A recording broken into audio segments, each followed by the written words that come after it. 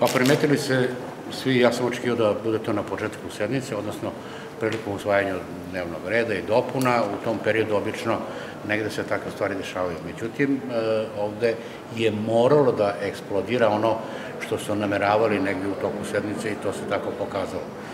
Mislim da naši građani dobro su ovo mogli, koji su slušali i videli, treba da znaju da ti isti ljudi žele da vode Pirot u budućnosti.